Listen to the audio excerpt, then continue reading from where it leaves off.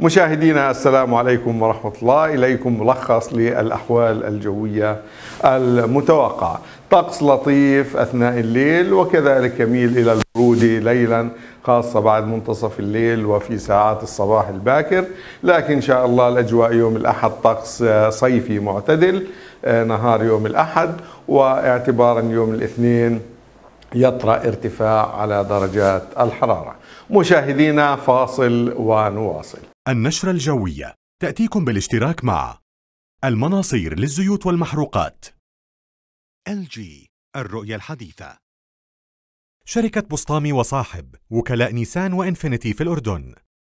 ليدرز سنتر المهنية للاستثمارات العقد مشاهدينا أهلا وسهلا بكم مرة أخرى على الخرائط الجوية التي تمثل درجات الحرارة، نلاحظ أن المملكة ستكون خلال الأيام الثلاثة القادمة تحت تأثير كتلة هوائية معتدلة الحرارة والرطوبة وبالتالي تكون درجات الحرارة حول معدلاتها وتكون الأجواء صيفية معتدلة أثناء النهار. الأحوال الجوية المتوقعة هذه الليلة هذه الليلة أجواء لطيفة لكنها تميل إلى البرودة بعد منتصف الليل وفي ساعات الصباح الباكر والصغرى المتوقعة 17 درجة مئوية. الأحوال الجوية المتوقعة للثلاثه أيام القادمة. يوم غد الأحد أجواء صيفي معتدل أثناء النهار. درجات الحرارة أقل من معدلاتها ما بين 2 إلى 4 درجات مئوية. العظمى المتوقعة 27 درجة مئوي. والأجواء أثناء الليل أجواء لطيفة ودرجة الحرارة 20 درجة مئوي وهي حول معدلاتها في مثل هذا الوقت من السنة. يوم الاثنين والثلاثاء ارتفاع قليل على درجات الحرارة لكن تبقى أقل من المعدل أو تقترب قليلا من المعدل.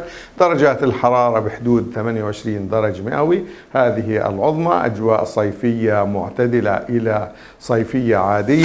وأيضا أثناء الليل أجواء لطيفة ودرجة الحرارة 19 درجة مئوي.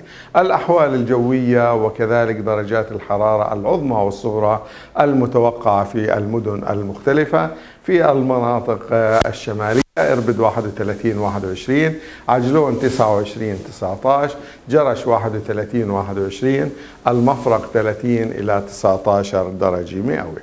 الأحوال الجوية المتوقعة في المنطقة الوسطى البلقاء 28 20 مأدبة 27 20 العمان 27 إلى 20 والزرقاء 30 إلى 21 البحر الميت أجواء حارة 37 إلى 27 درجة مئوي الأحوال الجوية المتوقعة في المناطق الجنوبية أجواء لطيفة إلى معتدلة في المناطق الجبلية الكرك 28 19 الطفيلة 27 19 الشراح 25 16 معان 29 19 والعقبة أجواء حارة 37 إلى 27 درجة مئوي الأحوال الجوية المتوقعة في المناطق الشرقية أجواء حارة نسبيا الأزرق 33 20 الصفاوي 33 20 والرويشد 34 إلى 21 درجة مئوي مشاهدينا شكرا لمتابعتكم ونترككم في أمان الله.